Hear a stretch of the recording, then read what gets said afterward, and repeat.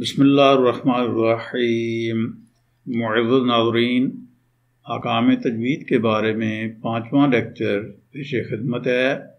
दुआ है कि अल्लाह रब्ज़त सही और हक बयान करने की तोफ़ी दें। आमीन। मखरज नंबर नौ अरूफ़ तरफिया, लाम, नून, रा में से लाम का मखरज है। इस मखरज की तस्वीरी झलक देखें।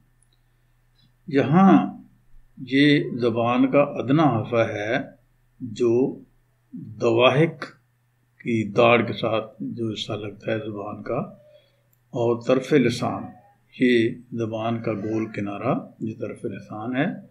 तो अदना हाफा मा तरफ़ लसान, ये पूरा हिस्सा जब ऊपर के दवाहिक, यानी दाढ़ों, दवाहिक की दाढ़ों और दांतों, यानी अंजाब, रुबाई और स्नाया उलिया के मसूड़ों से लगे, ये जो ब्लैक लाइन में सा शो किया हुआ है, इसके साथ जब ये हिस्सा जाकर लगे तो लाम निकलता है।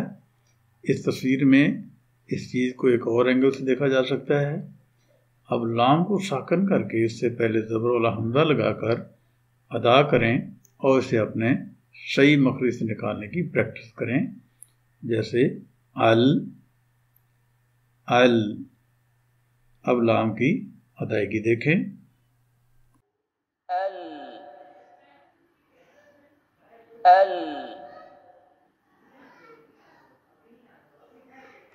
अल अल अल। तो मखरज नंबर दस अरूफ तौरफिया लाम नून। रा में से नून का मखरज है। इस मखरज की तस्वीरी झलक देखें।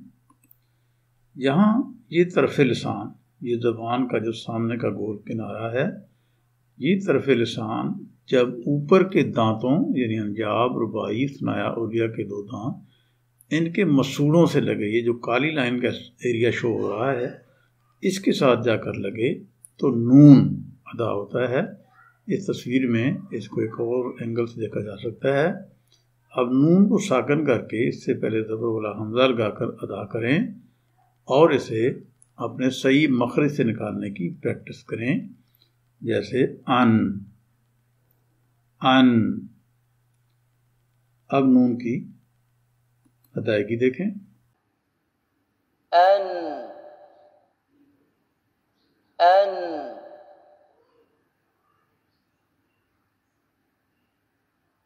अन अन अन तो मखर नंबर ग्यारह, हरूफ तौरफिया लाम, नून, रा में से रा का मखरज है। इस मखरज की तस्वीरी झलक देखें। यहाँ तरफ़ लसान यही वो जो गोल किनारा है ज़ुबान का, अब इसकी पुश्त है। यानी तरफ़ लसान की पुश्त, पिछला हिस्सा जो है ये जब ऊपर के दांतों अंजाब और स्नाया के मसूड़ों से लगे जो काली लाइन में रेशो हो रहा है, जब इसके साथ ये तरफ़ लसान की पुष्ट जा करके लगती है तो रा अदा होता है। ये ज़बान की पुत जाई ऊपर लग रही है। अब रा को साकन करके इससे पहले जबर वाला हमदा लगाकर अदा करें, उसे अपने सही मखरे से निकालने की प्रैक्टिस करें। और और अब रा बाद हालतों में मोटा पड़ा जाता है और बाद हालतों में बारीक। जब रा मोटा पड़ा जाए तो जबान का पिछला हिस्सा जो है, ये ऊपर को उठ जाता है। तो अब रा की अदायगी देखें।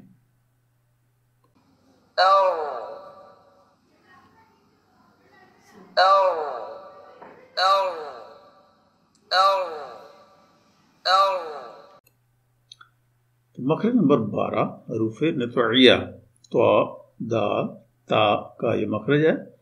इस मखरज की तस्वीरी झलक देखें। यहाँ देखें, ये ज़बान की नोक, सनाया उलिया की जड़ के साथ। ये सनाया उलिया ऊपर के दो दांत जो है, सामने के। ये सनाया उलिया है, इसकी जड़ के साथ ज़बान की नोक लग रही है। और ये ज़बान की नोक, सनाया उलिया की जड़ के साथ लगने से ये तीनों हरूफ अदा होते हैं। तो दैर तय अब तो जो है ये हरूफ मुस्तालिया में से मोटा हरफ है। जब इसको अदा करेंगे तो ज़बान का ये पिछला हिस्सा ऊपर को उठ जाएगा और ये अदा होगा, जबकि दाल और त्या ये बारीक रूफ हैं। इनके अदा करने में ज़बान में कोई तगैर नहीं आता। अब इन हरूफ को साकन करके इनसे पहले ज़बर हमदा लगा कर अदा करें और इन्हें अपने अपने मकर से प्रैक्टिस के ज़रिए सही अदा करने की कोशिश करें। तो आप आप अद अद आत आत अब इन हरूफ की अदायगी देखें Apple.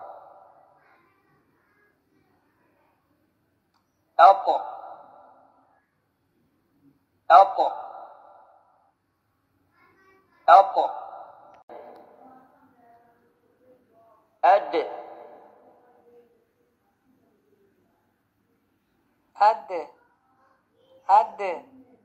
Add. Add. Add. At.